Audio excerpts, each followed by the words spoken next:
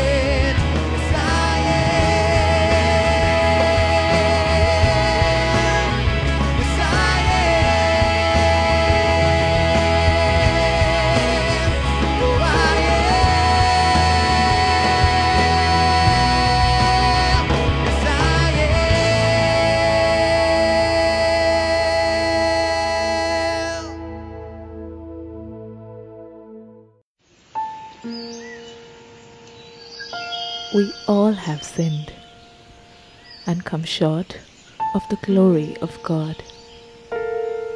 And because there cannot be anything unclean entering into the kingdom of God, we are separated. But then the grace of God is our everlasting hope that unlocks the gates of heaven. Through His Son Jesus, we are accepted. By grace, we grow from flawed and limited beings into beings of truth and light. Grace empowers us to be overcomers, to reign in life, and to fulfill divine destiny. This is God's amazing grace. Greetings and thank you for tuning in to Living Strong today. As always, it's our joy and delight to be able to come your way and bring God's word to you. We're doing a very interesting study on God's amazing grace, and uh, we will continue our study today as we talk about and focus in on God of all grace. The main thing that we want to emphasize on, our, on to each of us today on the episode is to help us understand that there is all the grace we need and even more available to us from God. Uh, 1 Peter chapter 5 and verse 10, Peter calls God, he refers to God as the God of all grace, meaning there is all the grace that we ever need uh, available to us in God.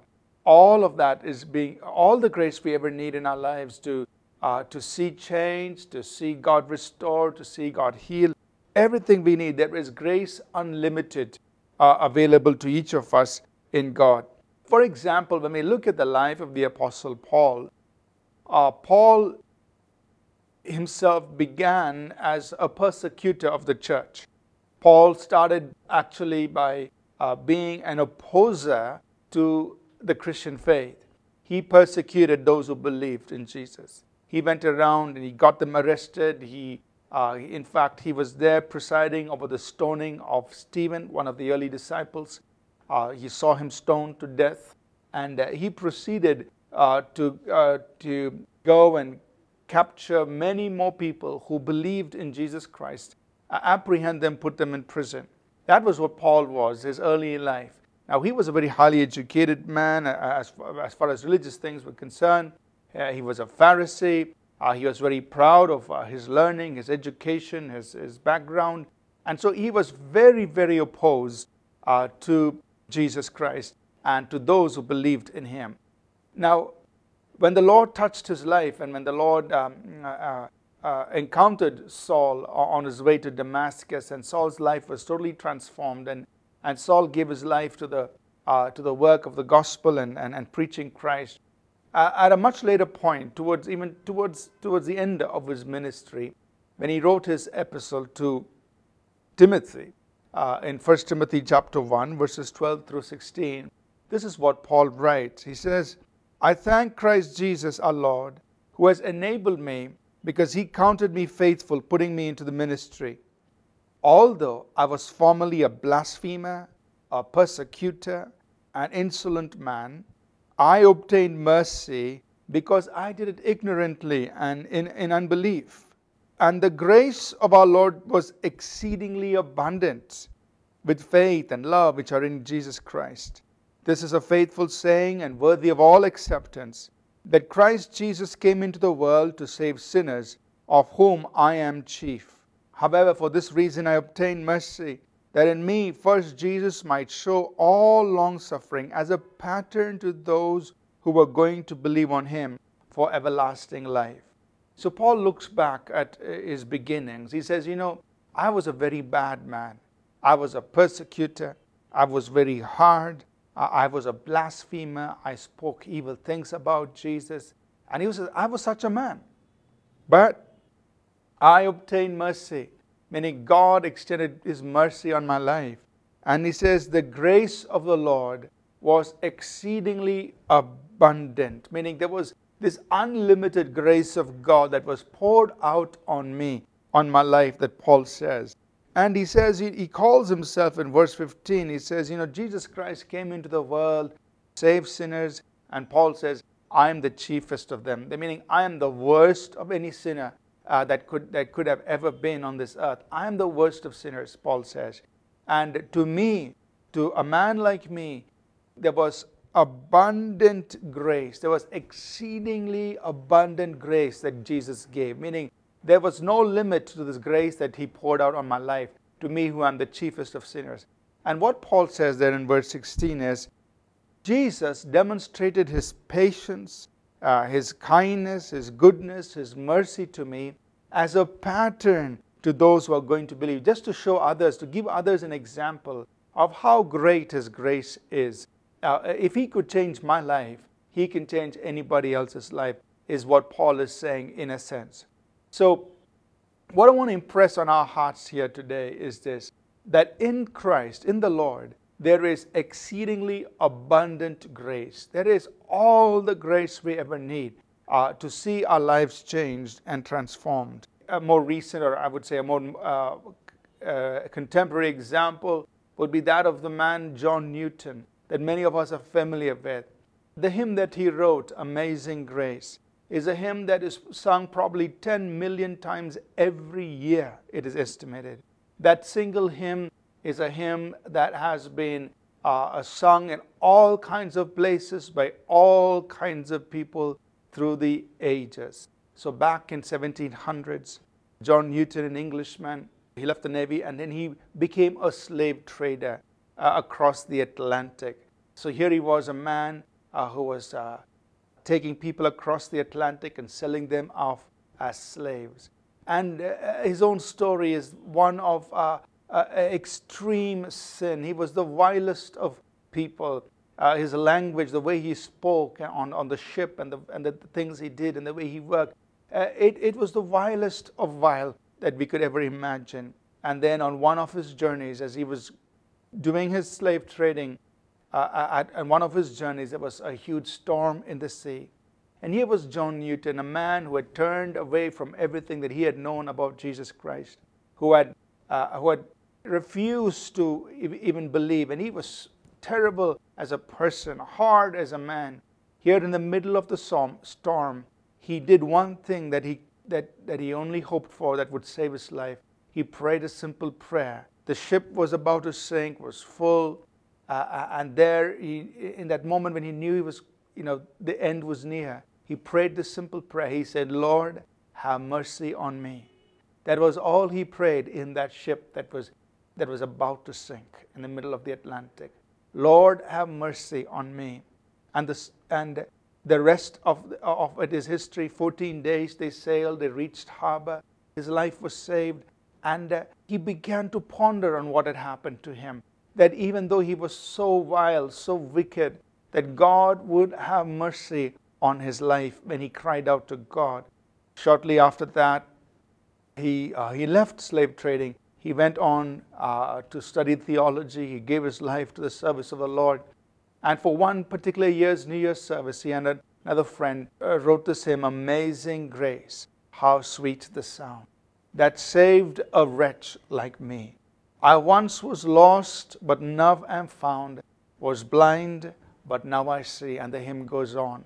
John Newton captured in those words, in, in that hymn, uh, the, the, what the grace of God meant to him and what the grace of God did for him that he, being such a wicked man and a man who was involved in slave trade, a man who turned his back against God, that when he cried out for the mercy of God, that God would save even him and, and, and give meaning and purpose for his life. And so here we have another example of God's exceedingly abundant grace, meaning this grace that God gives upon people, that God extends to each of us, is so unlimited if we will only reach out to Him. In Ephesians chapter 2, verses 4 through 9, Paul describes what God does for us out of mercy and as a demonstration of His grace.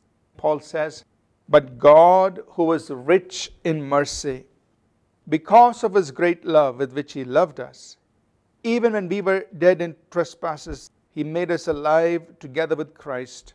By grace you have been saved and raised us up together and made us sit together in the heavenly places in Christ Jesus, that in the ages to come he might show the exceeding riches of his grace in his kindness towards us in Christ Jesus. For by grace you have been saved through faith, and that not of yourselves, it is the gift of God, not of works, lest any man should boast. So Paul describes our life that we were dead in sin that we were totally wicked, that we walked according to the course of this world, uh, that we were driven by our own uh, flesh and our, uh, the fleshly desires of our mind, and that's the way we lived.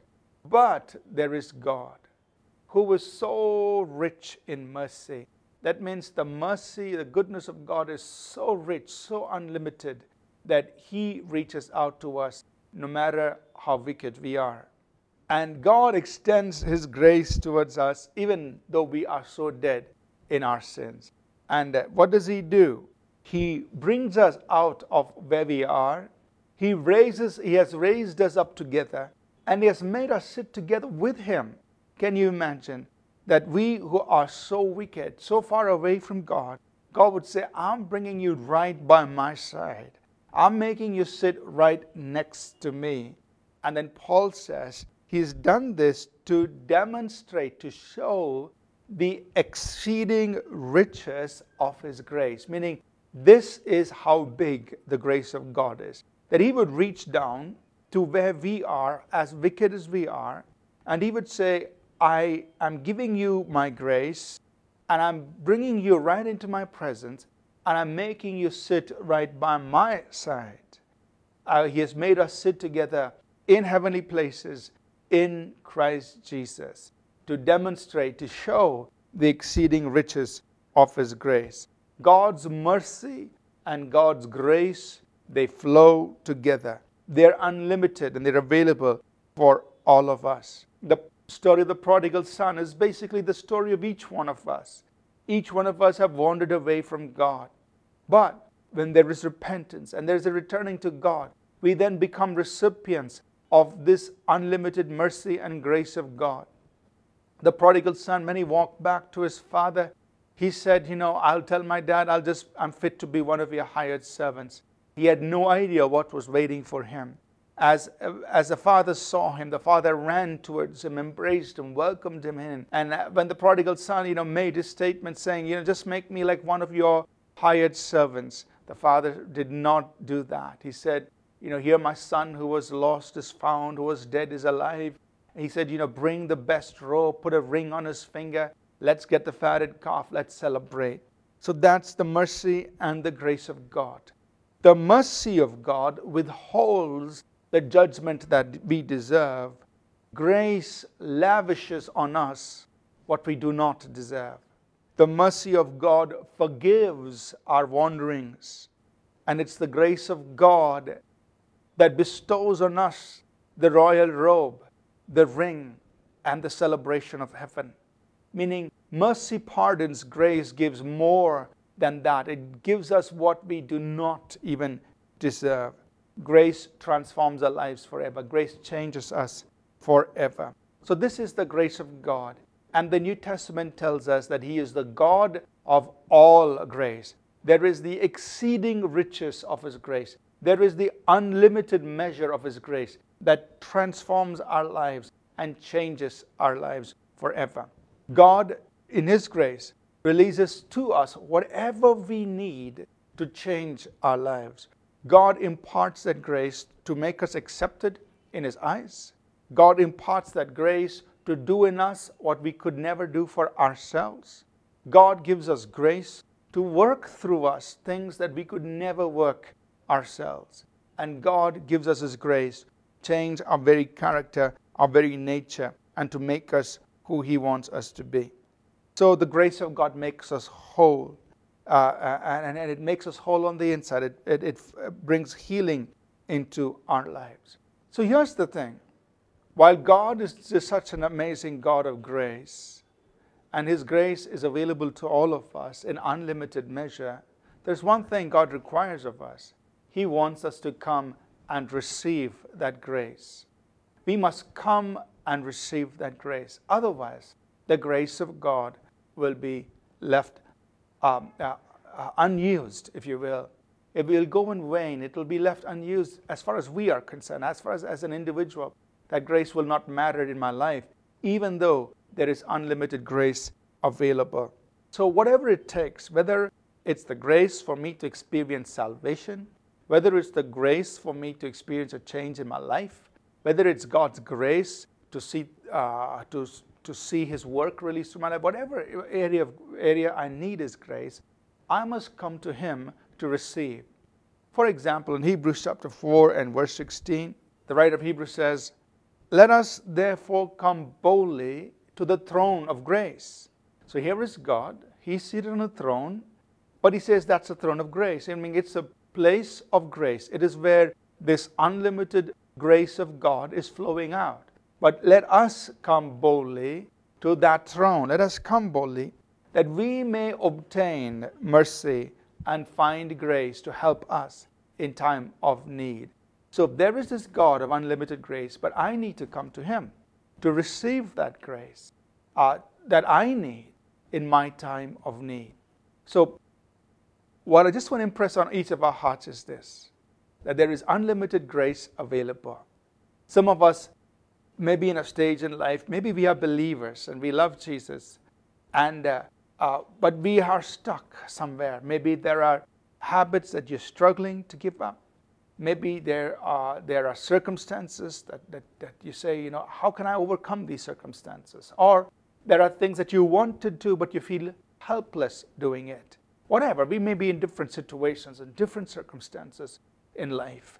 But one thing that we all have access to is this throne of grace, that we can come boldly to receive mercy and grace. Mercy forgives, grace clothes us with royalty. We can obtain mercy and grace, they flow together to help us in our time of need.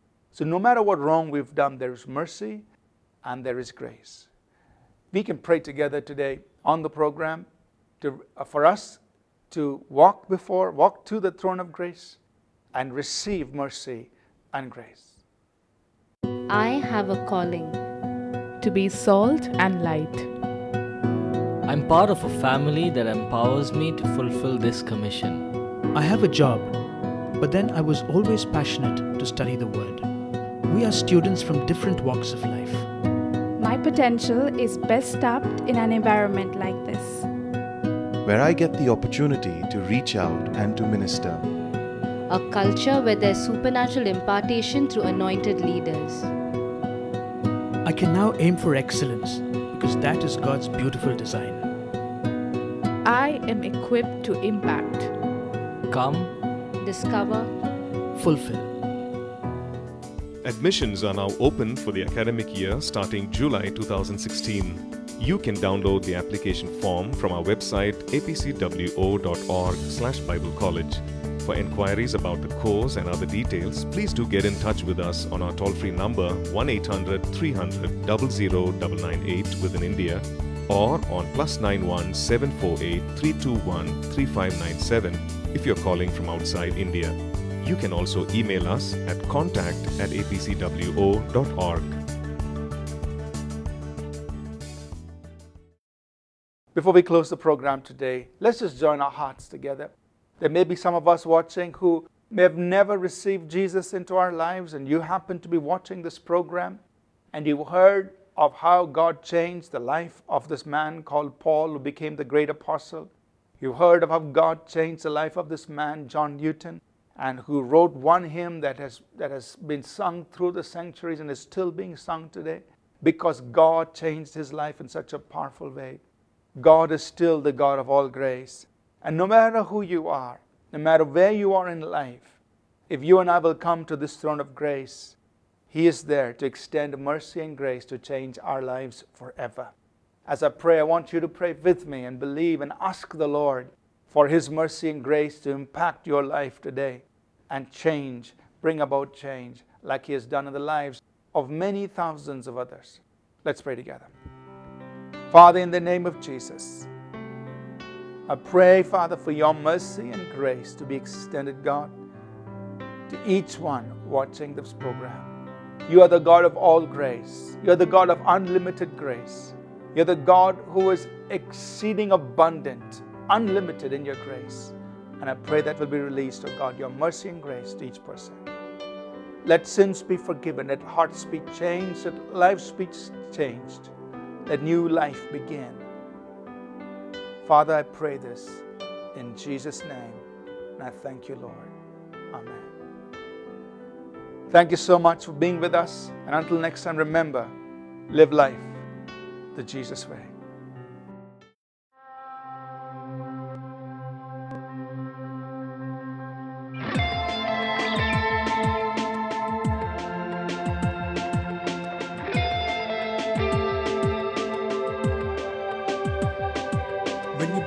Spark of light into the void, the shadows ran away from your voice. In the darkness now, I'm falling to my knees. Will you speak that same voice